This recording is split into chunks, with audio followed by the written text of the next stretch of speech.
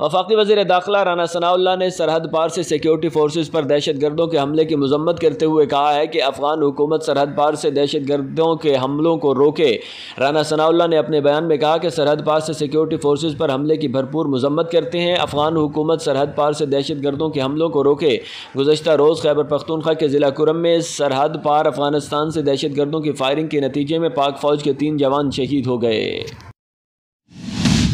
Election commission of Pakistan ने कौमी assembly के आठ हल्कों में पोलिंग का दोबारा शेड्यूल जारी कर दिया। इलेक्शन कमीशन के मुताबिक एन ए चौबीस चार सदा एन ए बाईस मरदान एन ए पैंतालीस कुर्म एन ए इकतीस पिशावर एन ए एक सौ अठारह ननकाना साहब एन ए एक सौ आठ फैसलाबाद एन ए दो सौ उनतालीस और एन ए दो सौ सैंतीस में ज़मनी इलेक्शन सोलह अक्टूबर को होंगे।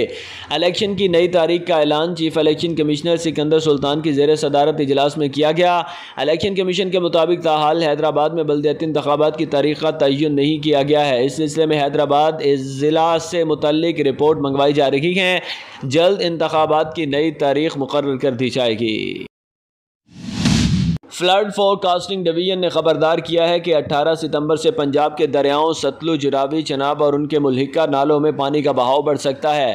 फ्लड फोरकास्टिंग डिवीज़न ने 14 से 20 सितंबर तक मौसम का आडिट लुक जारी करते हुए कहा कि भारतीय रियासत मध्य प्रदेश में हवा का दबाव कम है, जो मशरकी दरियाओं के बलाई इलाकों को मुतासर कर सकता है। फ्लड फॉरकास्टिंग डिवीज़न की जानब से जारी किए गए अलर्ट में बताया गया कि हवा के इस कम दबाव के जेर असर अठारह सितंबर से दरिया सतलुज, रावी, चनाब और और उससे मुलिका नालों में पानी का बहाव बढ़ सकता है।